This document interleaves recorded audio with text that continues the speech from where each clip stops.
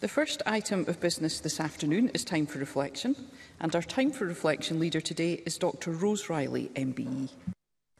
Presiding officer, members of the Scottish Parliament, thank you for letting a wee lassie from Stewarton address you today. Today, female football players still struggle for equality. I had my own struggles. At school, I wanted to play football, but that wasn't, was not allowed. But I love football, so I played every day I played every day anyway, and I was belted for it. My head teacher said to me, Rose, you're not learning. I replied, no, sir, it's you that's not learning. I never held a grudge. I moved on and tried harder. There were no girls' team, so to play with the boys' team, I had to get a short back size and change my name to Ross and get changed at home. During my career, I experienced name calling. Today, this would be considered a hate crime. Back then, it was just a bit of banter. But it was wrong. It was horrible. It hurt.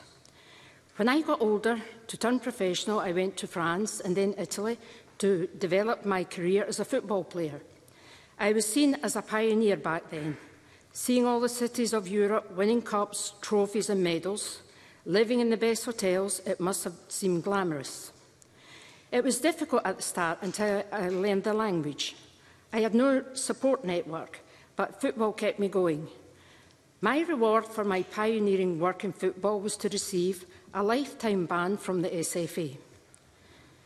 Instead of being supported, I was rejected. Where I could have been used as a positive role model to inspire females, I was disowned. Those challenges I faced were wrong, horrible and it hurt.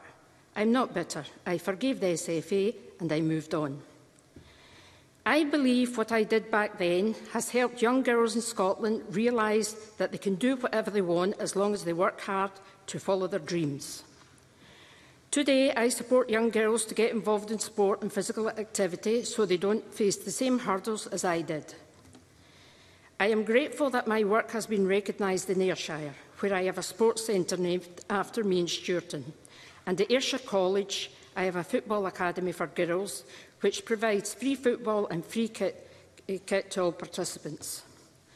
I am fortunate that I have been able to give back to the community where I was born and raised.